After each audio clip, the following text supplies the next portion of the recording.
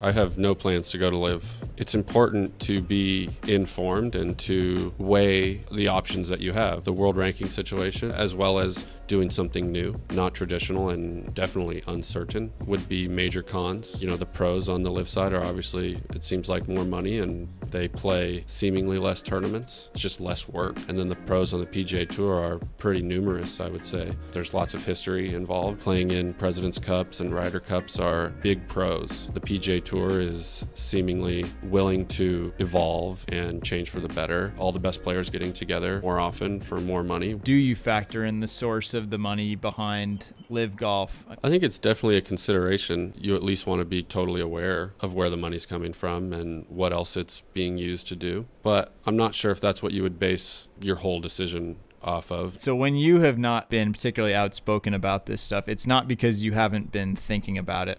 Yeah, I've thought about it quite a lot.